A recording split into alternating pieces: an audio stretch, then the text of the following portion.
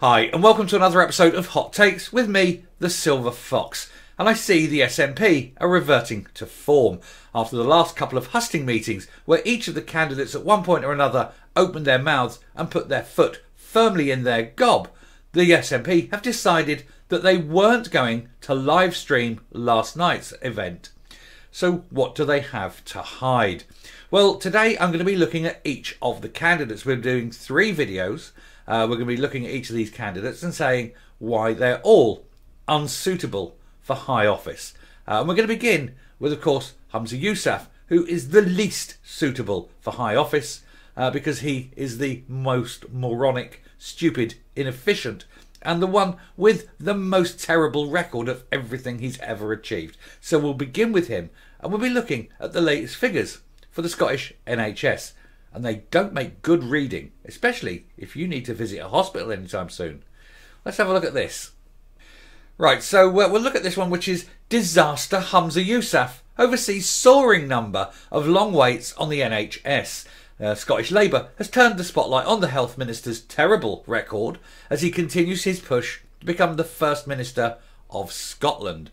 Uh, and there he is, look, he uh, sort of vaguely not caring about what he's done for the health of the nation. Uh, he is completely useless in every job he does, and we're about to see the proof that he is even worse than useless when it comes to being health minister. So Humza Yousaf has been branded a disaster for the Scottish NHS as Labour again shines a spotlight on his failures. The focus this time is on the soaring numbers of long waits and a series of missed targets. That guy couldn't pee down a toilet, he'd miss by a mile. Uh, the party says new analysis suggests the number of people stuck on waiting lists for more than two years is now almost five times higher than when the SNP leadership hopeful became health secretary in 2021. So, in a little over two years, or a little under two years, should it be? A little under two years, uh, a two year, those waiting for two years on the NHS still haven't been seen. There are people, to put it this way, there are people who were on the waiting list before he became health secretary, and they're still on the waiting list two years later. How is that in any way a good record?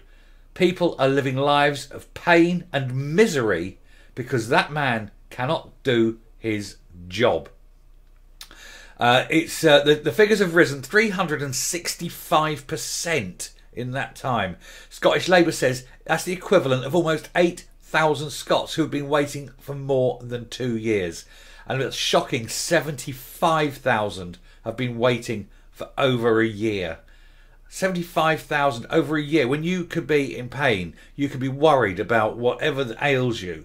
There are going to be undoubtedly people passing away from preventable causes, people who would have been saved that will undoubtedly be dying because that man is incapable of running his portfolio. It is disgusting. Uh, the figures have been branded shameful, and the Scottish Labour health spokesman, uh, spokesperson Jackie Baillie added, Scotland's NHS is in chaos, with thousands of Scots stuck on waiting lists for years on end. The number of people waiting years has spiralled on Humza Yousaf's watch, and one promise after another has been broken. And you can't blame Westminster and you can't blame the Tories for this one. NHS is entirely in the hands of the SNP. Humza Yousaf has been a disaster for the NHS and his credibility is in tatters. He cannot keep failing upwards.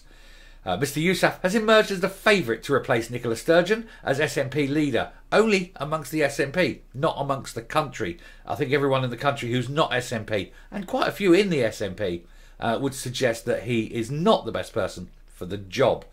Uh, anyway, however, he has been widely criticised with Scotland's health service in disarray. In fact, everything he's ever touched is now falling apart and is in disarray, and it's absolutely shameful. Uh, the NHS has suffered its worst winter since devolution. Now, worst, as in worse even than the pandemic, uh, with A&E targets regularly missed and waiting lists getting longer continually. Uh, and despite that, Mr. Yousaf is believed to be Nicola Sturgeon's preferred candidate to take the keys of Bute House. She uh, wants him in because she knows she will control him. She will be the puppet master. He will be her glove puppet. Uh, but you wouldn't want her hand anywhere up your backside, pointing you around and telling you what to do. But that's how it's going to be. The people of Scotland, she may have gone as First Minister, but she'll still be the de facto controller of the nation if he gets in. Uh, he is up against Kate Forbes and Ash Regan, both of whom have looked to distance themselves from the current regime. In contrast, Mr. Yousaf is seen as a continuity candidate. Yeah, continuity SNP. And it isn't good because where you are at the moment is just awful and getting worse. Uh, anyway, that's uh, enough on him for the moment. I mean, I'm sure as the weeks and days and weeks go on, uh, we'll be looking at a lot more of the woes of Humza Yousaf. Uh, but anyway, I'll finish here. I'll come up and we'll round off the video for this one. It's very hard to find something positive and good to say about Humza Yousaf. Every portfolio he has held in government has been an unmitigated disaster. Uh, transport, law, and now health. Nothing he has done, nothing he has ever tried, has ever been a success. And yet one looks at his record and sees failure after failure after failure, and he knows we can see these failures. And he still pushes himself forward in the mistaken belief that he's capable, that he's the best man for the job. That man is not the best man for any job. He is useless and he must never be given control of the nation. I mean, think how much damage he could do to everything else. He's damaged all three that he's done so far. Having control of everything, it would be the end. It would be like Armageddon. You would be leading a life of quiet misery. And it would be a short life because you wouldn't be getting to hospital, would you? So, under no circumstances must this man be allowed to be the leader. And I hope even SNP people realise that having him in charge would be the most awful time possible for everyone in Scotland. Please God, not him.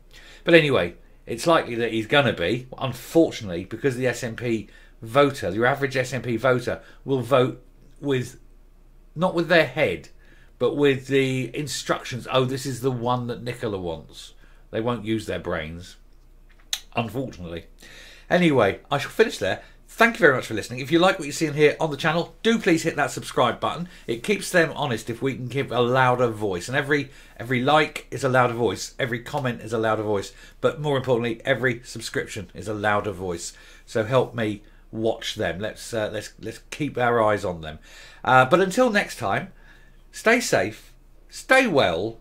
Dear God, hope we never get Humza Yousaf as leader. And goodbye.